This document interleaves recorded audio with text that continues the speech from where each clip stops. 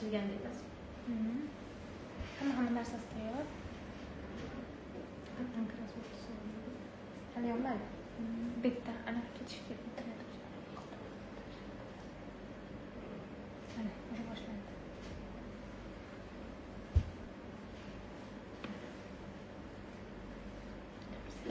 assalomu alaykum aziz onkolog klinikasini kuzatuvchilari.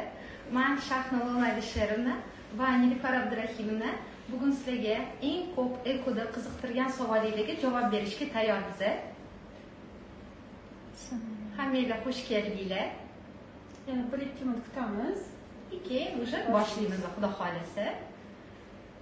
Eko jarayoni nima? Ekoda eng ko'p qiziqtirgan hamma savolinglarga inshaalloh подробно bugun javob beramiz. Va alaykum assalom xush kelibsizlar hammanglar qancha aytib keting lutfan bu eko narxi qancha aytib keting lutfan deb yozishibdi eko narxini so'rashyapti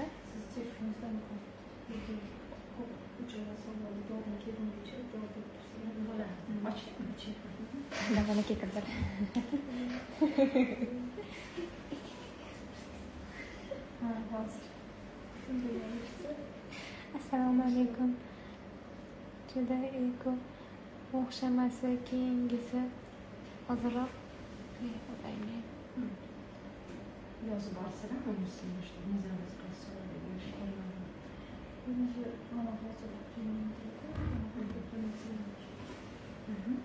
bizaga savol kelgungacha o'zi e, bizani saytimizga ko'p tushib ko'plab tushadigan savollarga sekin sekin javob berishni boshlaymiz va sizlardan kelayotgan savollarga ham jonli ravishda javob berishga harakat qilamiz. Ekoda eng ko'p beradigan savollardan birinchisi borgandan srazu e, borgandan keyin klinikaga kelgandan keyin srazu eko qilinadimi degan savolimiz bor. Oldin ham so'ralgan и hozir ham so'rashyapti E, ekoga kelgan то есть klinikaga tashrif buyurgandan keyin oldin sizni ko'rikdan o'tkazamiz. Bu ko'rikda asos qilinadigan narsa ayol kishini uzi uzi qilamiz bachadonlarni ko'rib zaxirasini ko'rib undan keyin ayol kishini gormonlarini tekshiramiz. И erkak kishini spermogrammasi bu uchta analizga qarab biza qanchalik ekoda samarali bo'lamizmi bo'lmaymizmi deb uni gaplasha olamiz. Faqat undan keyin undan keyin ekoga taniqli bo'lgan analizlar bor. Bu analizlarda ham ayol kishi ham erkak kishi tekshiriladi. Asos ayol kishi tekshiriladi. Kerakli bo'lgan gormonlar undan keyin uzi щитовидный молочный железы ekg hamma narsa tekshirilib. Agar bu analizlarda серьезный hech qanaqa muammo chiqmagan bo'lsa undan keyin eko protsedurasiga boshlaymiz. Lekin ttg gormonimiz baland bo'lib prolaktin gormonimiz baland bo'lib yoki boshqa qanaqadir muammolar bo'lsa oldin ularni davolab turib ekoga faqat undan keyin boshlaymiz. Hozir mana jonli ravishda so'ralyapti andijonda qachon eko klinikasini ochasizlar deb. Xudo xohlasa mana harakatlarimiz e, tezlashilgan. Eng e, qisqa muddat bu iyul oyiga e, iyul oyida inshaalloh sekin sekin birinchi qadamlarimizni andijonda E, boshlaymiz inshaalloh e, ekoda yana eng ko'p so'raladigan savollardan birinchisi egizak o'g'il qilib bera olasizlarmi degan bitta savol bor. Bu yerda buni aytib o'tmoqchiman. O'zbekiston qonunida jinsiyatni tanlash mumkin emas. Jinsiyatni tanlamoqchi bo'lgan bemorlar o'zbekistonda bu narsani qilolmaydi chunki qonuniy mumkin emas bo'ladi. Egzekmi bo'ladi traynyashkami bo'ladi bittami uni ham biz bilolmaymiz. Ayol kishini yoshiga qarab e, kamida допустим ikkita embrion qo'yamiz. Yoshi kattaroq bo'lsa bundan oldin samarasiz ekolar bo'lsa uchta embrion qo'yib qo'yishimiz mumkin. Lekin bularni uchtasi ham rivojlanadi ikkitasimi bittasimi yoki hech qaysi rivojlanadimi yo'qmi uni hozirdan biz bilolmaymiz.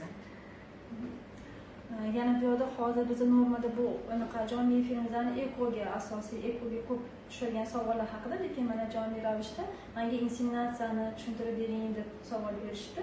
Inseminatsiya bu ekodan oldingi e, ko'pincha biza tavsiya qiladigan jarayonlardan bittasi hisoblanadi. Lekin inseminatsiyani ham hamma e, murojaat qilib kelgan bemorlarga qilolmaymiz. Uni o'ziga yarasha shartlari bor. Birinchi shartlardan bittasi bu spermogramma natijasida to'qqiz milliondan bir millilitrda to'qqiz milliondan ko'p bo'lishi kerak sperma soni. Ikkinchisi aktivligi eng kamida besh foizdan yuqori bo'lishi kerak. Uchinchi shartlardan bittasi bu ayol kishini zaxirasi me'yorida bo'lishi kerak va bachadon naylari ochiq bo'lishi kerak. Endi bo'lishi mumkin. Bitta bachadon nayi ochiq bitta bachadon nayi yopiq u holatda ham inseminatsiya qilishimiz mumkin bo'ladi. Qancha yil davomida bepushtlik e, jarayoni uzayib ketgan bo'lsa masalan besh yildan o'n yilgacha uzayib ketgan bo'lsa to'g'ridan to'g'ri ba'zi holatlarda bemorlar bizga inseminatsiyaga kelgan bo'lsa ham siz eko qildiring deb ham tavsiya bergan holatlarimiz bo'ladi. Sababi ayol kishini yoshi ko'tarishgan sari tuxumdon zaxirasi kamayib boradi va buni natijasida inseminatsiyani samaradorligi unchalik yaxshi bo'lmasligi mumkin. Normada inseminatsiya hayz siklini ikkinchi kuni boshlanadi. U ham o'ziga yarasha analizlari bor er xotin albatta gepatit b s rv bich analizlari bo'lishi kerak bo'ladi ayol kishida jinsiy yo'ldan yuquvchi xlamidия uyoplazma mikoplazma infeksiyalarini o'tkir turi yo'qligi va bachadon e, surtmasi mazot toza bo'lishi kerak bo'ladi hayzi ikkinchi kuni boshlanadi stimulyatsiya degan jarayon boshlanadi tuxumdonda follikulalar o'sish uchun tashqaridan gormonalniy preparatlar tavsiya qilinadi va shu preparatlarni ta'sirida har ikkala tuxumdonda nechtadan follikul o'sayotganini ultratovush tovush e, yordamida tekshirib boriladi. Taxminan ikki uch marta uzrida tekshirib o'n sakkiz millimetrga yetgandan keyin oxirgi e, pishirilgan tuxum hujayralarni pishiradigan trigger ukol deb aytiladi meditsinada ana o'sha ukolni qilib undan keyin yigirma to'rt soat va o'ttiz olti soat oralig'ida xo'jayini sperma analiz topshiradi va undan aktiv bo'lganini maxsus e, rastvorlar yordamida yuvib bachadon ichiga quyiladi. Mana shu inseminatsiya jarayoni hisoblanadi. Inseminatsiyada e, bo'lish ehtimoli agar ikkala truba ochiq bo'lsa spermogramma hali aytganimdek to'qqiz milliondan yuqori va aktivligi besh foizdan yuqori bo'lsa o'n besh yigirma foiz homiladorlik yuzaga kelishi mumkin deb aytiladi. Bu degani ya'ni o'nta odamdan bitta yoki ikkitasi har oy homilador bo'ldim deb chiqishi mumkin. Masalan o'nta e, inseminatsiya qilsak o'shandan ikkitasi man homilador bo'ldim deb chiqadi. Ba'zi kelgan bemorlarimiz aytadi nimaga bunaqa kam foiz aytyapsiz deb. bu kam hisoblanmaydi. Normada umuman tibbiyot aralashmaganda har bir juftlik har oy homilador bo'lish ehtimoli besh foizni tashkil qiladi. Ana shu besh foizni biza tibbiy yordam e, anaqasi bilan yordam berib o'n o'n besh даже yigirma foizgacha oshirib berishimiz mumkin bo'ladi. Ikki marta inseminatsiya qildik. Samaramiz o'xshamadi homilador bo'lmadingiz bu nima degani? Ikki marta stimulyatsiya o'xshamadi ikki marta inseminatsiya qilib ko'rdik. Agar hech qanaqa natija xohlagan narsamizga homiladorlik qo'limizga anaqa kelmadi samarali bo'lmadik unda ekoga o'tish kerak deb har doim aytamiz chunki vaqt o'tgan sari ayol kishini yoshi katta bo'lgan sari ham zaxirasi kamayib ketadi hamda tuxumdondagi follikullarni sifati ham yomonroq bo'ladi. O'shanga ikki marta qilib ko'rdinglar uch to'rt besh marta qilish kerak emas sразу уже ekoga o'tish kerak. Imkoniyat bo'lsa albatta. Yana savol berishibdi homiladorman kesirva qildirsam bo'ladimi kesirvani o'ziga yarasha ko'rsatmalari bor. Agar haqiqatdan ham kesirva qilishga ko'rsatma bo'lsa albatta kesirva qilishingiz kerak bo'ladi. Uni o'zi masalan eko qilinib homilador bo'lib ya'ni eko hisobiga kesirva qilinadimi deydigan bo'lsangiz yo'q. Agar e, yoshingiz katta bo'lmasa yoshi katta bo'lib e, birinchi homiladorlik bo'lsa bu holatda ekodan keyin albatta biza e, kesir va kesirva muolajasi tavsiya qilinadi. Lekin o'zingiz sog'lom bo'lsangiz yoshingiz kichkina bo'lsa bolani boshi bilan kelish jarayoni bo'lsa e, vazni katta bo'lmasa unda kesirva bo'lish shart emas. Afsuski mana mana shunaqa narsa bor. O'zbekistonda agar ekomdan ayol kishi homilador qolgan bo'lsa сразу kesirva deb qo'rqitishadi ayollarni oilalarni. Lekin mana nilufar abdurahimova o'tib chiqdilar ayol kishi o'ttiz besh yoshdan kichkina bo'lib turib mana birinchi tug'ishlari bo'ladigan bo'lsa o'zi tabiiy yo'ldan urinib ko'radi. То есть o'zi tug'ishga harakat qiladi. Chunki eng idealniy eng yaxshi tug'ish fiziologический роды ha yoshlari o'ttiz besh yoshdan katta bo'lib bundan oldin hech tug'ruq qilmagan bo'lsalar конечно unda kesirva tavsiya qilamiz. Nilufar degan patsientimiz bugun anaqa hgch analizini topshirgan ekanlar o'ttiz uchu besh chiqibdi tabriklaymiz rahmat Tabriklaymiz. bizlarga umri bilan bergan bo'lsa iloyim oxirigacha allohim so'yintirsin nilufar qirq yoshli ayolda eko natijasi ayol kishini yoshi katta bo'lgan sari samarasi ham ekoda e, ochiq gapiradigan bo'lsak kamayadi pastroq bo'ladi. Nimaga? Bundan oldin o'tib chiqdik. O'ttiz besh yoshdan keyin hamma ayollarni ham zaxirasini soni ham sifati kamayadi. To'g'ri bunaqa e, voqealar bor. Bemorlarimiz keladi. Oyim допустим ukamni qirq ikki yoshda tug'di. Конечно bunaqa narsa bo'lishi kerak lekin bu yerda ayol kishini zaxirasiga ko'p narsa bog'liq yana o'tib chiqqanimizdek oldin uzida ko'rib nechta folikul ko'rganimizni aytib spermani tekshirib o'shanga qarab по любому aytamiz lekin qirq yoshdan keyin bemorlarda genetik qanaqadir muammo qanaqadir врожденный yurakda muammo bolada chiqib qolishi mumkin bu hammada ekomdan Э, homilador bo'lmagan bemorlarda ham bo'ladigan narsa. Поэтому samarasi qirq yoshdan keyin конечно pastroq bo'ladi. Lekin shans bor. Agar biza masalan bemor keldi qirq yoshdan katta va ultratovush tekshiruvida tuxumdonlarida folikul ko'rsak albatta siz umid qilsangiz bo'ladi. Bitta folikul bo'lsa ham mana mana shu folikulingiz o'sib ichidan sog'lom tuxum hujayra chiqishi mumkin deb umid qilamiz. Ya'ni shans bor imkoniyat bor. Imkoniyatdan foydalanish mumkin. Э, to'g'ri yigirma to'rt yoshli ayolga nisbatan shans unaqa yuqori emas lekin umuman nol deb ham aytolmaymiz masalan yigirma to'rt yoshli ayol kelib tuxumdan zaxirasi yaxshiligi va o'zini ayol kishini yoshligini hisobga olib bizni qirq besh hattoki muzlatib ikkita uchta embrion qo'ydirsangiz e, anaqa bo'lish ehtimoli ellik oltmish foizgacha ham ba'zan bo'lishi mumkin deb aytamiz. Lekin qirq yoshli ayolda mana shunaqa yuqori foizda berolmasligimiz mumkin. Keyin e, ko'p so'ralgan savollardan bittasi o'zi necha kun davomida muolaja davom etiladi? Man davlatda ishlaydigan odamman deb yozishgan bu eko muolajasi o'zi hayzni ikkinchi uchinchi kundan boshlatiladi. Bir menstrualniy sikl davomida davom ettiradi. Ekonun bosqichlari bor bu вообще alohida bitta tema. Lekin buni aytib chiqmoqchimiz hayzni ikkinchi uchinchi kundan stimulyatsiyaga boshlab turib kamida o'n kun eng ko'p o'n olti kun davomida ukolga olinadi. Follikula yetilgandan keyin trigger ukol berilib yordiragan ukolni berib tuxum hujayralarini terib olamiz. Urug'lanish bo'ladi. Qolgan etapli bemorga ko'p bog'liq. Agar embrionni hosil bo'lgandan keyin muzlatishga yaroqli bo'lsa biz har doim muzlatilgan embrionni подсадкасini ko'proq tavsiya qilamiz. Nimaga? Samaramiz balandroq bo'ladi. Samaramizni balandroq bo'lish sababi embrion muzlatilgani uchun bo'lgani uchun emas. Ayol kishi eko jarayonda ko'p e, stimulyatsiya olgani uchun gormon dorilar olgani uchun gormonalniy disbalans bo'lishi mumkin. Endometriy bachadonni o'rta qismi ozgina ingichka bo'lib ketishi mumkin. O'shanga aytamizki keling agar muzlatishga yaroqli bo'lsa siz ham rozi bo'lsangiz bu embrionni muzlatib keyingi oy хотя бы bitta hayzingiz o'tib ketgandan keyin подсадкаga keyin boshlaymiz deb tavsiya qilamiz. Lekin har doim ham embrion muzlatishga yaroqli bo'lmasligi mumkin. Unda конечно onani bachadoni o'rtaga o'rtam kislorod влажность muhit hammasi embrionga наоборот yaxshiroq rivojlanishi uchun unda свежий подсадка qilamiz. То есть где то yigirma bir kun davomida да вот bitta hayz siklini to'liq o'shani egallaydi bu yerda o'tkazish kerak bo'ladi hayz siklini ikkinchi kunidan keyingi hayz siklini kelish muddatigacha bo'lgan jarayon o'z ichiga qamrab oladida ko'pincha xo'jayinlarga unday aytamiz ayolingiz bu yerda qolsa bo'ladi viloyatlardan kelgan bemordagi xo'jayingiz o'sha kelgan e, то есть operatsiya bo'lgan payti sperma beradigan paytda chaqirib olamiz deb o'zimiz ham aytamiz. Hmm. Hozir mana yana inseminatsiya haqida e, savol kelyapti. Man bir marta qildirdim bizani bemorimiz. Natija bo'lmadi.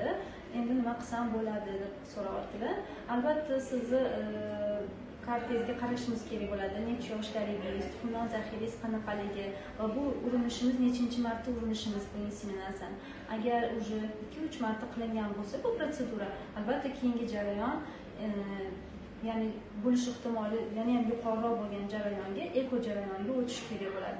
Yo'q yoshim kichkina e, bir marta hali endigina qilindi deyilayotgan bo'lsa xo'jayinni sperma analizi ham agar yaxshi bo'lsa eng kamida ikki uch marta o'tkazishimiz mumkin bo'ladi mana shu jarayonni inseminatsiya jarayonini. Yana bitta savol kelgan. Bola turbalar ikkita turbalarda ham bola bo'lib qolgan ekan turbalarni olib tashlaydigan ekan. Короче eko qildirsam bo'ladimi borsam bo'ladimi deyaptilar Hmm. albatta bu e, ikkilamchi bepishlik deb hisoblanadi. Sababi tabiiy holatda e, homiladorlik yuzaga kelishi uchun tuxumdonda yetilgan follikul trubalarni mana mana bu trubalarni fibriya qismlari bor. Mana mana shu fibriya qismlari yetilgan tuxum hujayralarni olib bachadon ichiga olib kirib ketadi. Va jinsiy aloqa bilan bu yoqqa o'tgan sperma suzib kelib mana mana shu tubada tuxum hujayra bilan uchrashadi va mana mana shu yerda urug'lanish jarayoni yuzaga keladi. Endi sizda ikki marta o'tkazilgan operatsiya hisobiga mana mana shu trubalar kesib olib tashlanganligi hisobiga sperma bilan tuxum hujayra uchrasha olmaydi. Biza eko jarayonida nima qilamiz? Mana shu sperma bilan tuxum hujayrani laboratoriya usulida yordamchi texnologiya yordamida urug'lantiramiz. Ya'ni sizlarga yetilib kelayotgan tuxum hujayrani tashqariga olamiz. Xo'jayingiz sperma analiz beradilar va embriologimiz laboratoriyada sterilniy e, muhitda ularni urug'lantirish jarayonini ya'ni iksi jarayoni deb aytiladi tuxumdon ichi mina orqali urug'lantiriladi sitoplazmasiga sperma kirgizib qo'yiladi albatta murojaat qiling tuxumdon zaxirangizni ko'raylik xo'jayingizni sperma analiziga qarab sizni eko jarayonini samaradorligini aytamiz agar sizga ma'qul kelsa albatta tayyorlab yordam berishga harakat qilamiz yoki o'tgan bitta eski savollarni berasizmi yana bitta ko'p so'ralgan savollardan bittasi ekodan ortiqcha qolgan embrionlarni nima qilasizlar eko jarayonida ko'p embrion hosil bo'lsa конечно uni muzlatamiz muzlatilgan embrionlar bizani klinikada besh yil davomida qolish anaqa haqqi bor. A, unaqa garantiya o'zi yo'q. Birinchi marta eko qildik o'xshadi degan yuz foiz garantiya bermaymiz. O'xshashligi ham mumkin o'xshamasligi ham mumkin agar o'xshamagan bo'lsa tayyor o'sha muzlatilgan embrionlarni olib eritib bachadon ichiga qo'yamiz. Agar o'xshagan bo'lsa birinchi martada bemorda unda e, то есть tug'ib oladi xudo xohlasa bag'riga bosib oladi sog'lom farzand. Keyin aytadiki ikki yildan keyin man yana ona ota bo'lmoqchi biza deyishadi. Embrionlar tayyor bo'lgani uchun bu embrionlar yana eritilib bachadon ichiga qo'yiladi. Hmm. Э, mana mana shu hosil bo'lgan embrionlarni birinchi muzlatilganda qilingan to'lovi bir yildan keyin abonentskiy to'lab yurishadi. Mana bizada bemorlarimiz bor. Hozirda bolalari mana bir yarim ikki yoshga qarab ketyapti muzlatilgan embrionlari ham bor. Ular har yili abonentskiy pulini to'lab turishadi. Hattoki mana hozir besh yil deyaptilar besh yildan o'n yilgacha ham saqlab turishimiz mumkin bo'ladi. Endi mana hozir jonli efirga kelgan savollardan bittasi manda subserozni miyoma intramuralniy miyomalarim bor. Bu xalaqit beradimi man eko qildirsam deb savol beribdilar. Bu holat asosan mana mana shu bachadonni ko'radigan bo'lsak mana mana bu uchburchak holatda turgan joy bu bachadon ichi bola birikadigan joy hisoblanadi. Mana mana bu mushak qavati bachadonni mushak qavatida joylashgan miomalar bu intramural mioma deb hisoblanadi. Mushakdan tashqari ya'ni qorin bo'shlig'iga qarab o'sgan miomalar subseroz mioma deb hisoblanadi. Bu miomalar bola birikadigan joyda deformatsiya ya'ni o'sha birikadigan joyiga mm, bosim bilan o'sib kelayotgan o'sib kelmayotgan bo'lsa bu miomalar xalaqit bermaydi. Bunaqa holatda albatta eko muolajasini qilishimiz mumkin. Faqat eko muolajasi jarayonida qilinayotgan gormonal ukollar natijasida bu miomani hajmi kattalashib bachadon ichki qavatiga deformatsiya yuzaga kelsa albatta u miyom anaqa embrion hosil bo'lgan embrionni muzlatib bu miyomani e, konservativ yoki operativ e, davo choralari tavsiya qilinadi. Lekin tashqariga o'sayotgan bo'lsa va ichki tarafga bola birikadigan tarafga deformatsiya bermayotgan bo'lsa bu bizlar uchun xalaqit bermaydi eko muolajasini o'tkazishimiz mumkin bo'ladi. И вот bitta narsa yana aytmoqchiman eko muolajasi e, o'tkazayotgan bemorimiz oldin aytadi oldin operatsiyami qilaylik miomami oldiraylik или ekomi qilaylik конечно oldin eko qilib olish kerak. То есть oldin embrionni hosil qilib embrionni muzlatib undan keyin o'sha balki chunki eko qilayotgan paytda gormonlarni sababidan mioma yana katta bo'lib ketishi mumkin yoki qaytadan chiqishi mumkin yoki embrion hosil bo'lmasligi mumkin. O'shanga oldin embrionni hosil qilib muzlatib keyin o'sha e, bizga muammo qilayotgan miomani olib tashlab bachadonni ichini tozalab undan keyin faqat подсадка qilishni tavsiya qilamiz. Ya'ni taktikamiz albatta birinchi navbatda eko muolajasini o'tkazish undan keyin bola birikadigan Joyni. Ha, ko'rpacha deb aytadigan bo'lsak xalq tilida ana o'sha ko'rpachaga mioma xalaqit berayotgan bo'lsagina operatsiya o'tkazamiz. Agar xalaqit bermaydigan bo'lsa bemalol bu embrionni bachadon ichiga o'tkazishimiz mumkin bo'ladi yana bitta savol kelibdi hop embrion qo'ydirishdan oldin matkada suyuqlik bor ekan. Bu xavfli emasmi bola joylashib ketishiga deyilyapti endi e, embrionni qo'ymasdan oldin biz albatta endometriy qalinligini o'lchaymiz. Endometriy qalinligi yetti millimetrdan baland bo'lsa uch uch sloychli то есть uchta poloskasi uch qavatli ko'rayotgan bo'lsak muammo yo'q deymiz. Ozgina suyuqlik bo'lishi mumkin u bizga muammo qilmaydi. Lekin ko'p miqdorda suyuqlik bo'lsa o'sha e, tayyorlayotgan paytimizda gormondagi berish bersa ekan lekin u suyuqlik ketmayapti u oy kerak bo'lsa подсадкani отмена qilamiz kerak bo'lsa gistroskopiya muolajasini o'tkazamiz. Bu suv qayerdan yig'ilib kelyapti? Qayerdadir ham muammo bormi yo'qmi? Особенно ikkita faqat embrioni bo'lgan bemorda zapasda embrioni bo'lmagan bemorda juda ehtiyotli bo'lish kerak. То есть lecheniyani to'xtatib hayzlari bemor hayzi kelib tamom bo'lgandan keyin besh kun ichida oshqozonga qanaqa kamera bilan qarab chiqadigan bo'lsak xuddi shunaqa bachadonni ichiga kamera bilan u suyuqlik qayerdan kelyapti. Xronический endometrit bormi qanaqadir muammo bormi to'sqinlik bormi yo'qmi deb ularni ko'rib tozalab kerakli lecheniyani o'tkazib faqat undan keyin подсадка qilamiz. Suyuqlik bizga muammo qiladigan narsa aslida. Mana hozir tilida xronический endometrit deganlari mana bachadonni eng ichki qavati bachadon uchta qavatdan iborat bo'ladi. Sirroz qavati mushak qavati va endometriy qavati. Mana mana shu endometriy qavatini ba'zan yallig'lanishi buni o'zidan suyuqlik ishlab chiqarishiga sabab bo'ladi va miqdor juda ko'p bo'lsa bolani birikishiga salbiy ta'sir ko'rsatishi mumkin. Lekin normada u o'zi namlanib turiladigan joy bo'lgani uchun ozgina miqdorda agar masalan chiziq holatda ko'rinayotgan bo'lsa bu xavfli emas. Ikki marta eko qildirgan ekanlar o'xshamagan ekan nima sababdan shunaqa bo'lganini so'rayaptilar samarasiz ekolarni birinchi sababi agar mana shunaqa. Agar samarasiz eko bo'lib chiqdi unda birinchi qilinadigan narsamiz gistroskopiya то есть gistroskopiyani hamma bemorlarga tavsiya qilmaymiz. Nimaga o'xshamagan deb o'ylasak o'sha bachadon ichini ko'rib chiqishimiz kerak.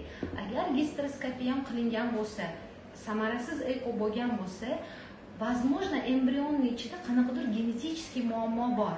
Biz embrionni ichini ko'rolmaymiz то есть nima qilamiz? Follikulani tuxum hujayrani terib olib sperma bilan urug'lantirib embrion hosil qilamiz. Tashqaridan embrion chiroyli нормальный bo'lib ko'rinadi. Ichida hujayra soni yaxshi bo'lib turadi.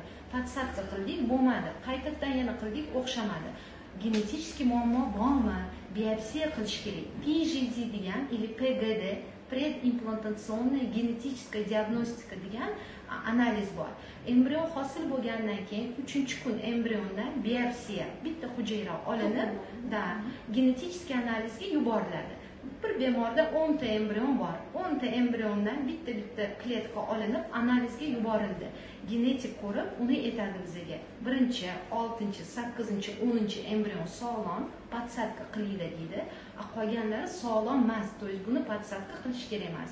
Bu yerda samarasiz bo'lgan ekolarda qilinadigan narsa birinchi gistroskopiya keyin уже pgd hmm, eko jarayonini o'tkazib hosil bo'lgan embriondan albatta to'qimasini tekshirishimiz kerak bo'ladi.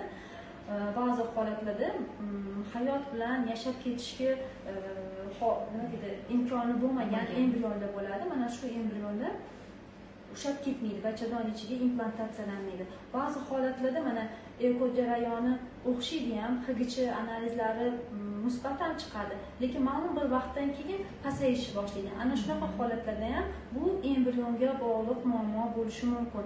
Ya'ni embrionni genetik muammosi bo'lsa ham bu o'smaydi o'z o'zidan organizm uni chiqarib tashlashga harakat qilishi mumkin.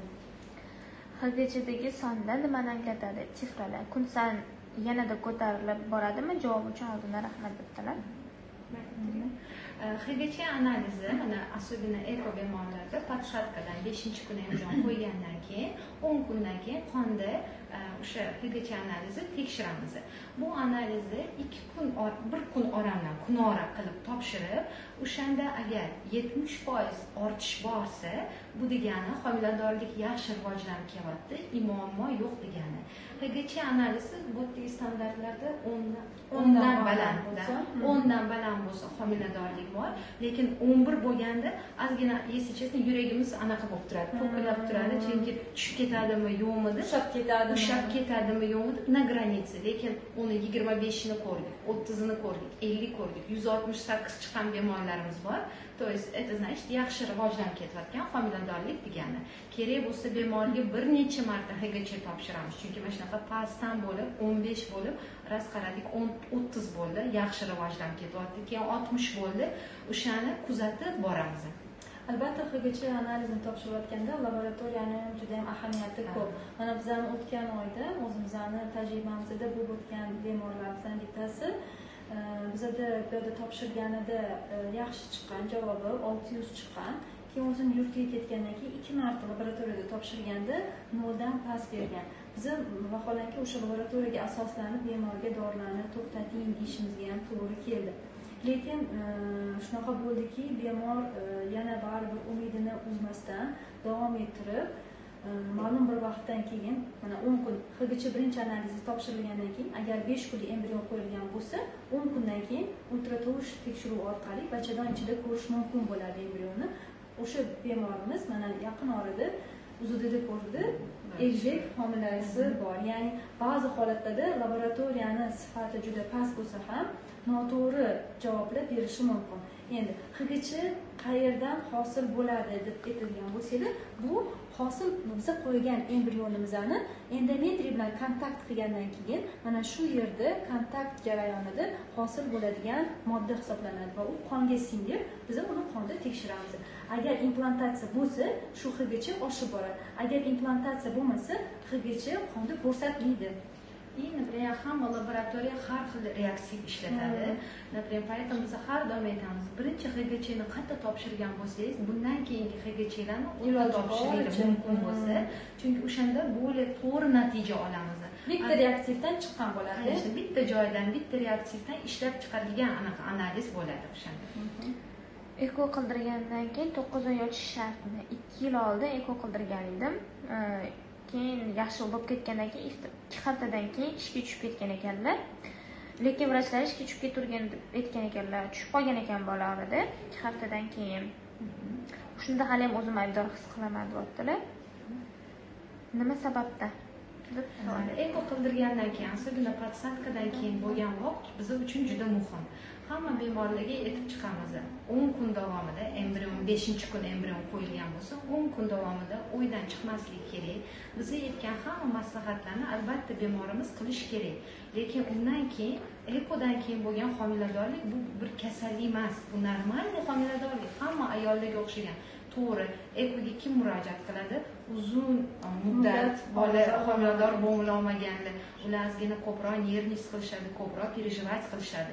Lekin biz har doim aytamiz agar sizni hech narsa bezovta qilmayotgan bo'lsa agar vykidish riski bo'lmasa qon ketmayotgan bo'lsa hamma dorilaringizni vaqtida soatida olayotgan bo'lsangiz qilayotgan bo'lsangiz agar og'ir qanaqadir ish qilmayotgan bo'lsangiz например спокойно kompyuterda ishlab o'tiradigan ish bankda ishlayapsiz nerv stress bo'lmaydigan ish bo'lsa конечно конечно ishga chiqasiz.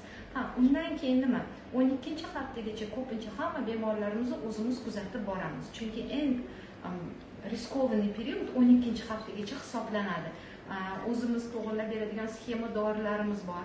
Ularni to'g'irlab bemorga tushuntirib lekin o'n ikkinchi haftadan keyin o'zingizni yashash joyingizda bo'lgan ginekolog akusher ginekolog учетida albatta turishingiz kerak. Albatta kerakli bo'lgan analizlarni topshirasiz nazoratda то есть kuzatilib borasiz. Agar homiladorlikka bog'liq ekoga bog'liq emas homiladorlikka bog'liq qanaqadir muammo chiqadigan bo'lsa o'sha aytayotgan doktoringizni hamma muolajasini qilishingiz kerak bo'ladi.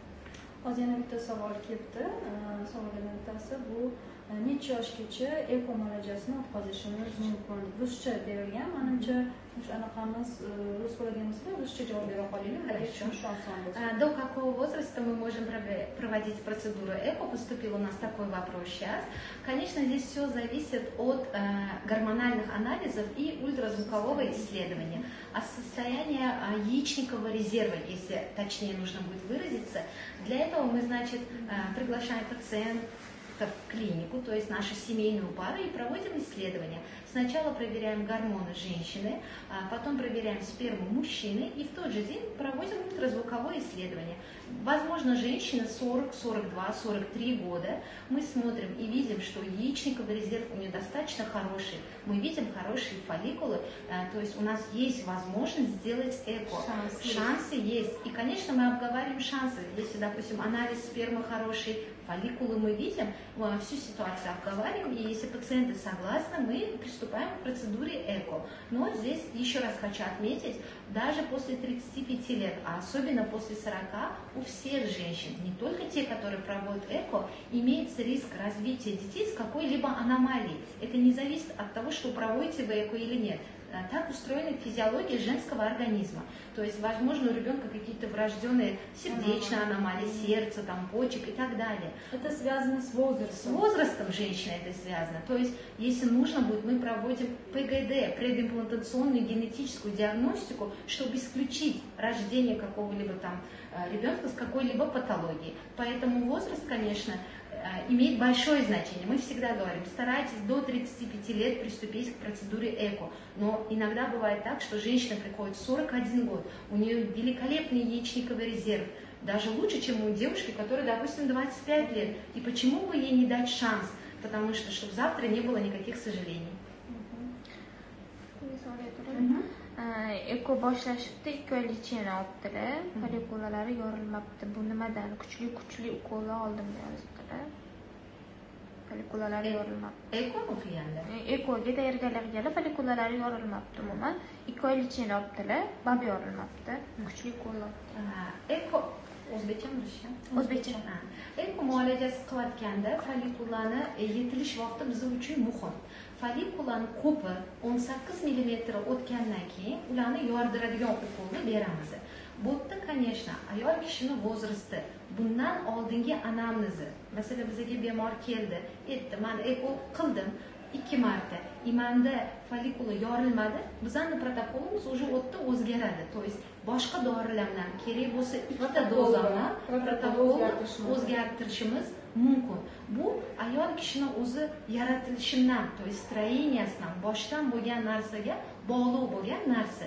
Bu yerda bunaqa narsani o'tib chiqmoqchiman. Особенно mana shu berayotgan ukolimizni vaqti soati juda muhim bo'ladi bu narsani ko'rdik o'zimizni tajribalarimizda praktikamizda aytamiz bu допустим ukol soat kechqurun yigirma bir o'ttizda qilinishi kerak bu juda muhim narsa chunki ukol qilgandan keyin определенный vaqt o'tishi kerakki bu follikulani yorilishi uchun lekin bemorlarimiz bo'ladi bunaqa esidan chiqib qoladi nervnичать qilmaydi. qiladi vaqtida qilmaydi o'shanda noto'g'ri qilib qo'yadi dori tashqariga chiqib ketishi mumkin o'shanda конечно unda ham follikula yorilmasligi mumkin то есть техническая ошибка bo'ladi o'sha Ha. ko'pincha ba'zi holatlarda mana follikul soni judayam kamligi hisobiga ham ayol kishining yoshi kattaligi hisobiga ham sifatsiz tuxum hujayralari yetiladi va pulsa jarayonida embrioligimizga uzatgan suyuqlikni ichida follikul ko'rmadim ya'ni tuxum hujayra ko'rmadim degan holatlar ham bo'ladi Mm, o'shaning uchun iloji boricha umuman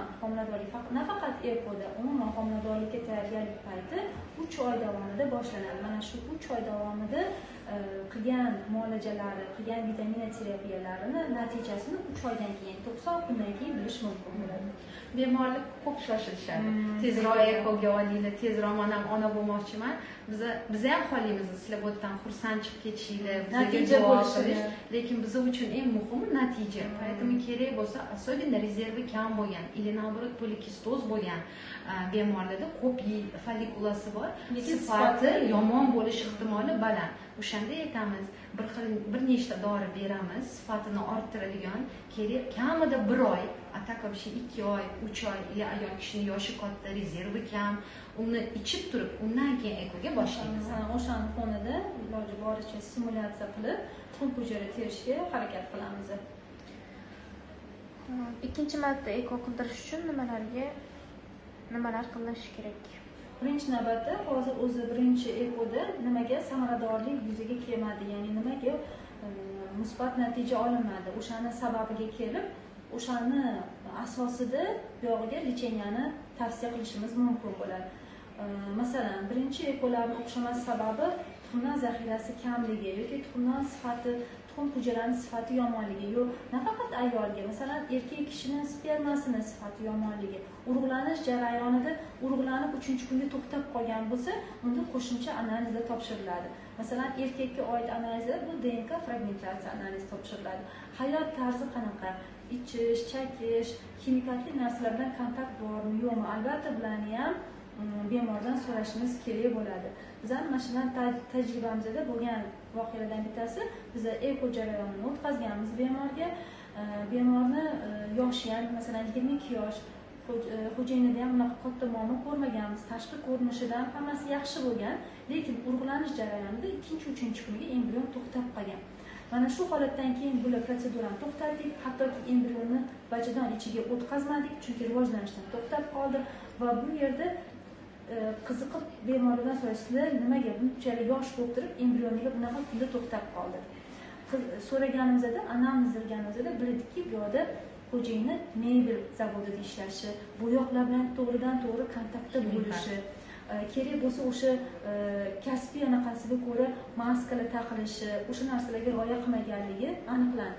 Shundan keyin biz masalan xo'jayini bilan shug'ullanib ham ayol kishiga ham erkak kishiga e, jigar faoliyatini yaxshilovchi muolajalarni o'tkazdik. Vaholanki eko eko muolajasini o'tkazmoqchi bo'lgan bemorimiz tabiiy holatda homiladorlik yuzaga kelib ketdi. Ya'ni birinchi eko nimaga o'xshamadi yoki o'xshab turib nimaga tushib qoldi? Kerak bo'lsa er xotin qo'shimcha analizda topshirishadi. Sizda qo'shimchada bor Erkak- Mhm. erkak kishida tuxumdonni bir tomoni ishlamas ekan. Bir tomonda foizi past. Biopsiya nima qilinadi? Biopsiyada nima qilinadi? A, biopsiyani qilish uchun конечно oldin bemorimiz bo'tga kelib qaytadan bitta sperma analizi topshiradi chunki hamma laboratoriyani har xil tekshirgani uchun bizani klinikada asos shartlardan bittasi sperma o'tda topshirilishi kerak qolgan analizlarni xohlagan klinikada topshirsangiz bo'ladi lekin spermogram bizada topshirilib agar o'shanda ham azospermiya chiqsa azospermiya nima deganligi Да. Азоспермия, то есть berayotgan eyakulyatsiya hech подвижно harakatli jonli sperma bo'lmagani degani. Urug' yo'q. Urug' yo'q degani. Lekin buni ikkita sababi bo'lishi mumkin. Bittasi obstruktivniy и необструктивный azospermiya obstruktivniy nima degani? Sperma chiqadigan kanallari yopilib qolishi sababi bo'lishi mumkin. То есть u kanallar ochilgandan keyin sperma yana chiqadi. И необструктивный то есть kanallar ochiq lekin yana ham sperma chiqmayapti Gormonal. gormonal qanaqadir anaqa bo'lishi mumkin genetический bo'lishi mumkin. O'shanda или например yomon привычкалari bor bemor ko'p допустим ichadilar chakadilar например erkak kishi o'shanda ham bunaqa narsalar chiqishi mumkin. Конечно bu yerda erkak kishini gormonlari erkak kishini gormonlari juda muhim bo'ldi то есть FSG, LG, prolaktin, testosteron, TTG gormonlarini albatta tekshiramiz. Agar u gormonlar в пределах norma bo'lsa o'shanda biopsiya qilamiz biopsiyani to'rtta vidi bor то есть aspiratsiya yo'li bilan то есть moyakka kesmasdan igna bilan teshib o'sha yerdan sperma chiqarishga harakat qilamiz chiqmadimi unda moyakka kesib ichidan sperma bu shaklda chiqarishga harakat qilamiz hozir nilufar abdurahimova aytib chiqqanlaridek kichkina yoshda svinka bo'lgan erkaklarda vaqtida davolanmagan unda допустим uch to'rt besh kun isitmalab yotgan bo'lsa o'sha infeksiya borib svinkadagi bo'lgan infeksiya напрямую moyaklarga borib anaqa yerlashib yerda muammo chiqazadi keyinchalik kelajakda ya'ni sperma ishlab chiqaradigan hujayralarni nobud bo'lishiga miqdorini kamayishiga sababchi bo'lib qoladi va o'smirlik yoshidan o'tgandan keyin mana shu e, uylangandan keyin tekshirib ko'rilganda tashqariga sperma chiqmayotganligi aniqlanishi mumkin nechta follikula tertirish kerak? Normada. Hozir manda deyaptilar ikkita follikula muzlatilgan turib- turibdi deyaptilar natijasi bo'lishi uchun nechta terilishi kerak normada? Mana e, shunaqa. Agar ayol kishini zaxirasi kam bo'lsa biza har doim aytamiz e, tuxum hujayrani terib e, tuxum hujayrani muzlatishga tavsiya qilamiz. Nimaga chunki bu tuxum hujayra hali sperma bilan hammasi urug'lanadimi yo'qmi qo'limizda nechta embrion hosil qiladi bilolmaymiz. Biza ko'pincha e, почти hamma bemorlarimizga kamida ikki embrion qo'yishga tavsiya qilamiz. Chunki o'shanda samaramiz balandroq bo'ladi. Lekin ayol kishini zaxirasi kam. Faqat ikkita или uchta follikula bor yoki beshta bor lekin yetilgan follikula ikkita bo'lib turib ikkita terib oldik uni muzlatib tuxum hujayrani muzlatib sperma bilan urug'lantirmasdan ikki oy davomida ayol kishi dam oladi kerakli bo'lgan dorilarni ichadi bergan dorilarimiz. Ikki oydan keyin qaytadan bitta stimulyatsiya qilib qo'limizda где то beshta oltita tuxum hujayra bo'lgandan keyin uni sperma bilan urug'lantirsak ehtimol ko'proqki qo'limizda ikkita embrion kamida qolishiga. Lekin ikkita tuxum hujayrani urug'lantirayotganda ikkita embrion hosil bo'ladimi yo'qmi uni bilolmaymiz. То есть samaramiz kamroq bo'ladi. Qo'limizda qancha? Endi agar tuxum hujayra nima salliq sifatida gapiriladigan bo'lsa qancha qo'limizda kam masalliq bo'lsa shunchalik kamroq bo'lish ehtimoli bo'ladi. Juda masalan qo'pol qilib tushuntiradigan bo'lsak masalan to'rtta sabzidan yarim kilo osh damlanadigan bo'lsa sakkizta sabzidan bir kilo osh damlanadi xuddi shunga o'xshab bizani qo'limizda qancha ko'p tuxum hujayra bo'lsa shunchalik bizni bo'lish ehtimoli samaradorligini shunchalik ko'proq beramiz. Nimaga? Mana yigirma to'rt yoshli yigirma besh yoshli ayol keldi tuxumdonida sakkizta o'nta tuxum hujayra ko'rdik. Ularga aytamiz qirq besh maksimum ellik foiz homiladorlik bizga kelishi mumkin.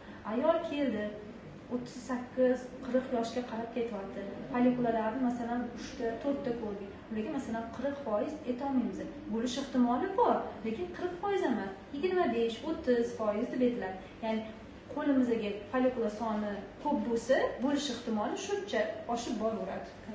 Lekin masalan manda endi yo'q ekan manda ikki dona ekan endi man qilishim kerak emas ekan degan fikr chiqishi kerak emas. Har bir inson individual va bitta tuxum hujayra bo'lsa ham biz umid qilishimiz kerak. Bizada hattoki mana bo'lganku bitta tuxum hujayra bilan o'sgan bitta tuxum hujayrasini urug'lantirganmiz va hozirda mhm, o'g'illi bo'lgan farzandlarimiz ham bor. И иногда mana shunaqa bo'ladi. Mani ko'p follikulam bor. Значит точно samaramiz baland bo'ladi degan narsa. To'g'ri follikula soni hozir nilufar aytib chiqdilar muhim lekin har doim ko'p degani yaxshi ma'noga kelmaydi. То есть bu yerda asos bo'lgan sifat. Если честно поэтому sifatni orttiradigan hamma narsa qilishimiz kerak если честно chunki haqiqatdan masalan yana o'sha qo'pol muomala anaqaga kelyapmiz Oshga to'rtta sabzi lekin sabzilarimiz masalan judayam eskirib qolgan so'lib qolgan bo'lsa undan chiqadigan oshimizni ham mazasi ham boshqacha bo'ladi lekin yangi mana yaqinda anaqadan tuproqdan olingan sabzi bo'lsa svejiy bo'lsa o'zinglar ham bilasizlar oshi qanaqa farqi bo'lishi bu tushunish uchun aytyapman endi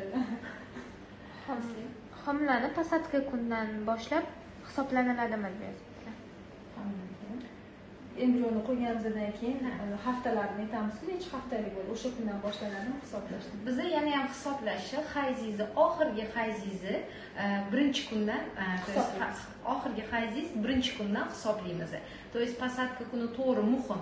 Agar uzida ko'rdik и e, ikki uch safarda uzida orqada допустим ikki hafta или bir haftada orqada kelayotgan bo'lsa unda hayz kuni emas посадка kunini ba'zi qilib olamiz. Lekin ko'pincha ko'p bemorlarda xohlasa embrion beshinchi kun qo'yilsin xohlasa uchinchi kun qo'yilsin biz yana ham bemorga aytamiz oxirgi hayzingizni birinchi kuni qachon? Chunki bu baribir inkubatorda o'stirilgan определенный razmeriga yetilgan embrion bo'lyapti то есть shundoq a, hosil qilib bu embrion bachadon ichiga qo'yilmagan.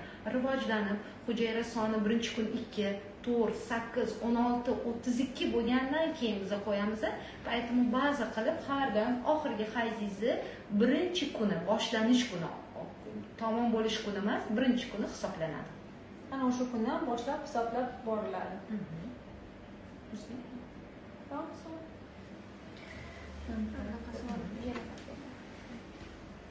Mashqdan ham manda amg gormoni rosa past chiqdi. Eko qilsa bo'ladimi? Yo'qmi degan savollardan bittasi. Eng ko'p keladigan savollar nilufar abdurahimov. Ha. amg gormoni anti myulleroviy gormon. Zaxirani qanchalik yaxshi bo'lganini ishlaydiganini bizga ko'rsatadigan gormon. Lekin bu gormon juda labilniy gormon. То есть har doim amg past bo'lib bo'ldi bu samarasiz bo'lamiz deb aytolmaymiz. Nol besh nol yetti kelgan bemorlar например uzida ko'rganimizda to'rtta beshta follikul ko'ryapmiz va eko juda yaxshi o'tadi. Amg gormoni birdan baland bo'lsa tabiiy yo'ldan homiladorlik bo'lishi mumkin. Agar trubalari ochiq agar erkak kishini spermasi yaxshi lekin birdan past bo'lsa vaqting kamroq tezroq harakat qil degan ma'noga keladi. Amg gormoni har doim gormonni ko'rishimizni ham analizda uzi bir xil chiqmaydi. Chunki sizni настроениеңizdan havodan kechasi uxlamaganingizdan hamma narsadan juda tez o'zgaradigan gormon o'shanga faqat amgga qarab bu narsani aytolmaymiz. Nima degani?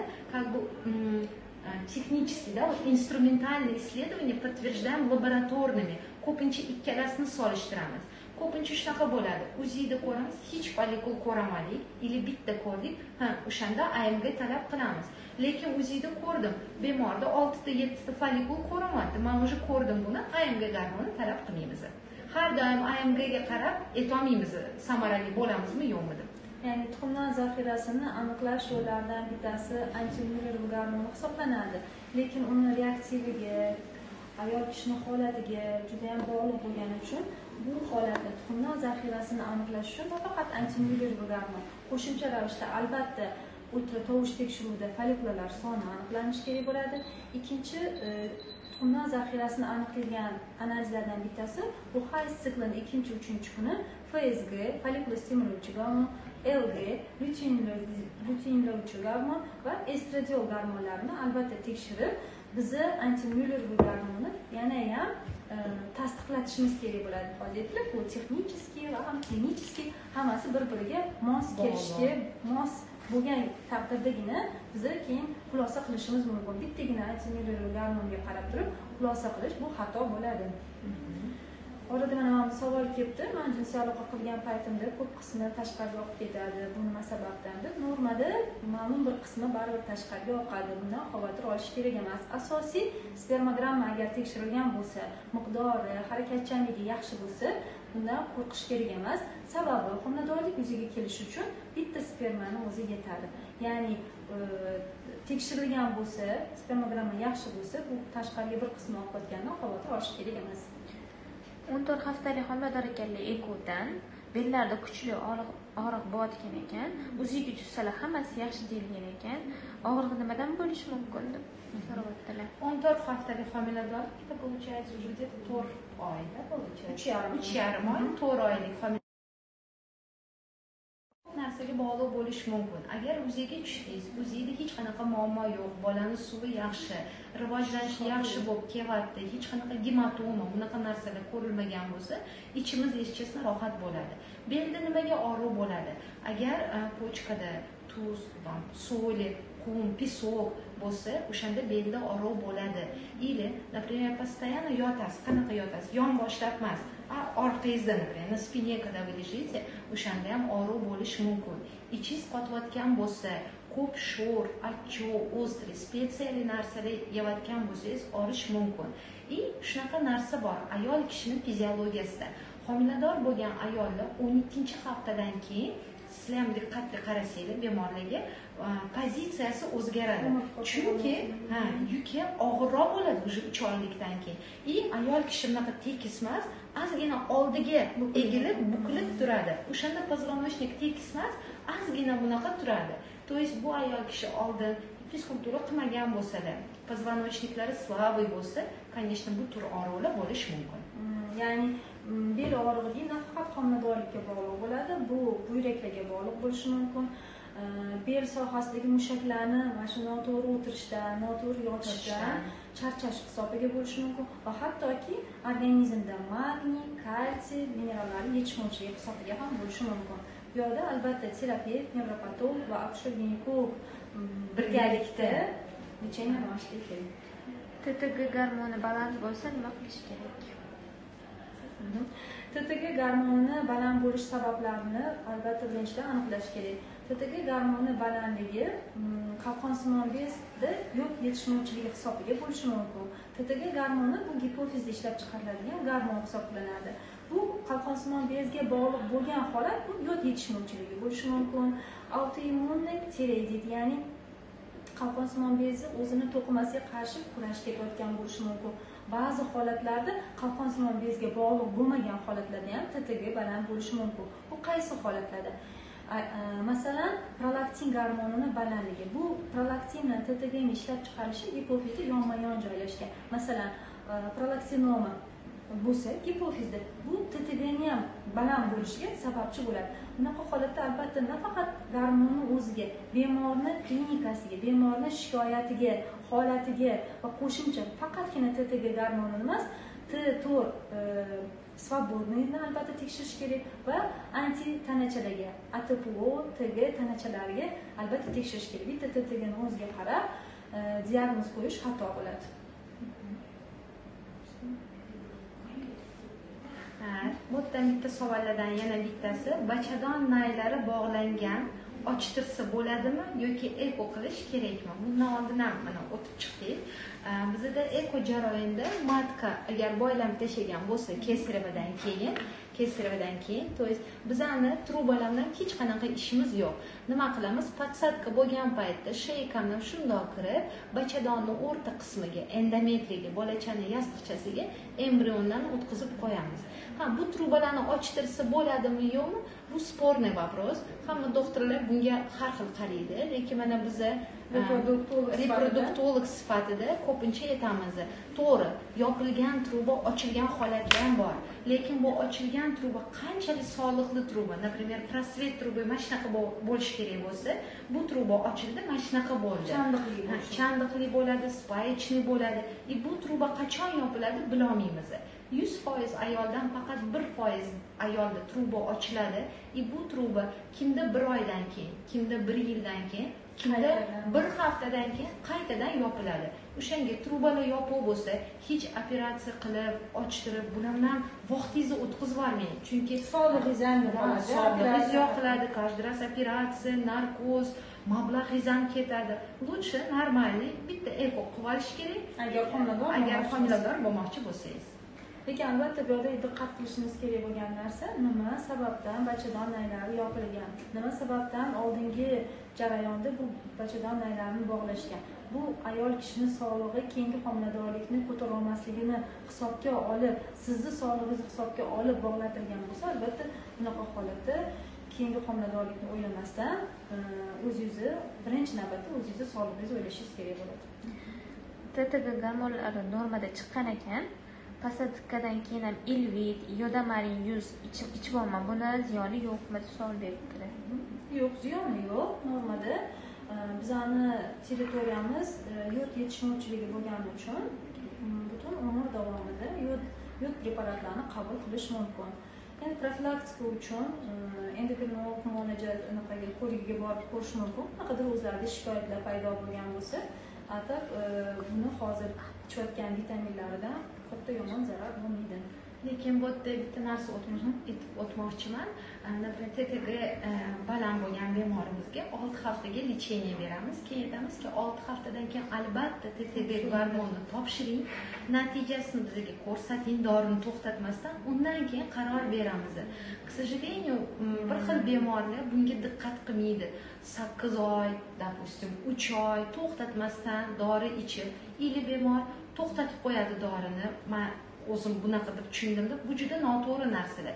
Chunki homiladorlikda o'zi по любому ttg fiziologически ko'tariladi. Biza buni kuzatib borishimiz kerak. Chunki agar sizda qanaqadir muammo bo'lsa homiladorlikda ham bu bolada ham keyinchalik muammo bo'ladi. Поэтому bu muhim olti haftaga berilganmi qaytadan ttg topshir deyishgan bo'lsa albatta ttgni topshirib kerak bo'lsa o'sha dozada kerak bo'lsa dozani kamaytirib shunaqa qilib kuzatib boramiz bemorlarni muhim bu narsa mana mana shu joyda bitta ozgina to'xtalib o'tmoqchiman albatta har bir qilinayotgan jarayonni judayam muhim organizmni katta dozada gormonal preparatlar bilan qilinayotgan jarayonda hech qachon yon atrofdagi ayniqsa doktor bo'lmagan insonlardan maslahat olib ana unda shunaqa bo'libdi manda ham shunaqa bo'lishi kerak degan e, xulosaga kelib harakat qilish bu noto'g'ri bo'ladi. Mutlaqo mutlaq sizni nazorat qilayotgan ginekologga murojaat qilishingiz kerak bo'ladi va u bilan maslahatlashib u tavsiya qilgan narsalarni tavsiya qiling hech qachon yon atrofingizdagi insonda shunaqa bo'libdi manda ham shunaqa bo'ladi degan gap yo'q. Olloh bizani individual har bir har bir shaxsni e, individual yaratgan. O'shaning uchun e, qaysidir preparatda tushunmovchilik bo'layotgan bo'lsa albatta nazoratda turgan ginekologingizga endokrinologingizga murojaat qilib e, o'shani tavsiyalariga rioya qilishinglarni tavsiya qilaman. Ko'kraklarda fibroademama degan kistalari bor ekan eko qildirsalar bo'ladimi? Fibradini bundan oldin ham o'tib chiqdik gapirib chiqdik eko muolajasidan oldin bitta tekshiruvdan bittasi и щитовидной железы agar o'sha uzida ko'krakda qanaqadir kistalar bo'lsa fibroadenomalar bo'lsa albatta bitta mamolog tekshiruvdan bemorni e, ko'rigidan o'tkazamiz boramiz mamologga. Chunki bu o'zi mamologni temasi u o'zini temasini yaxshiroq bilgani uchun tekshiruvdan o'tkazib подробный anamnez yig'ib oilada onkologiya bormi buvilarda xolalarda ammalarda kerak bo'lsa qaytadan uzi qilib undan keyin e, ruxsat beradi. Lekin ko'pincha kichkina kistalar oro bermayotgan e, ustida qizarib qolmagan hech qanaqa muammo qilmayotgan kistalar ko'pincha homilador bo'lib tug'ib emizdirganingizdan keyin o'zidan o'zi yo'q bo'lib ketadi. Lekin mamolog tekshiruvdan o'tish shart. O'zini mutaxassisiga albatta murojaat qilib e, kerak bo'lsa biza eko ishlatadigan preparatlarni nomlarini aytamiz. Ularni borib so'rab mana mana shu preparatlarni ishlatsam zarar qilmaydimi deb albatta maslahat olish kerak bo'ladi. E, mamologimiz agar ruxsat bersalar biza bu jarayonni boshlaveramiz Xo'p, 34 haftalik homilador ekanlar. Ekodan Kleksanni qaysi muddatgacha olishim kerak deb yozibdilar. Bu yerda bunaqa narsa bor. Agar kesareva qildiradigan bo'lsangiz, уже sizni tug'diradigan doktoringiz bilan maslahatlashishingiz kerak nazoratida. Agar yo'q, men o'zim tug'aman desangiz, 37 haftasigacha albatta Kleksanni olasiz. То есть 37 hafta bir kun bo'lganingizda Kleksanni уже to'xtatishingiz kerak. yo'q man kesarevani tug'aman точно manda kesarev bo'ladi desangiz unda уже o'ttiz to'rtinchi o'ttiz beshinchi haftalarda kleksan to'xtatilishi kerak yanayam bu holatni siz tug'diruvchi ginekologingiz albatta kavlogramma analizlarini tekshirgan holatda sizni o'sha holatda qoningiz qoningiz qanaqaligini bilgan holatda ham qarorli masalan o'zgarishi mumkin ya'ni e, mutloq mutlaq mana shunaqa qilinadi deb aytolmaymiz ba'zi holatlarda kleksani oladi qoni yana ham quyuq bo'ladi biza dozasini oshirishimizga to'g'ri keladi. Ba'zi holatlarda e, kichkina profilaktisskiy doza masalan nol to'rt aslida profilaktisskiy doza hisoblanadi. O'shanda ham suyulganlik holati kuzatilsa unda tug'diruvchi vrachingiz bilan muloqotda qaror berishga to'g'ri kelib qolishi mumkin. Vaqtimiz tugayapti tugayapti aziz ankalar kuzatuvchilari bugun hamma kim bizlar bilan birga bo'lgani uchun kattakon rahmat. O'ylaymanki hamma qiziqtirgan savolinglarga to'liq sizlarni tushunadigan darajada javob bera oldik. Bugun bolalar kuni. Hamma bolalarni dunyodagi hamma bola sog'lom bo'lishsin farzandi bo'lmagan hamma oilalarga allohim farzand nasib qilsin xayrli iymonli farzand nasib qilsin. Ertaga ikkinchi uchinchi iyunda uni ham o'tib ayting birinchi marta bizani klinikaga tashrif buyurgan bemorlarga bepushtlikdan sababli бесплатный konsultatsiya o'tkazamiz. Bolalar kunidan sababli uni ham aytib o'taman. Kimni savoliga agar javob berolmadik o'tkazib yubordik xafa bo'lmaysizlar. Inshaalloh keyingi прямой efirlarda ko'rishguncha. Xayr sog' bo'linglar salomat bo'linglar. Xayr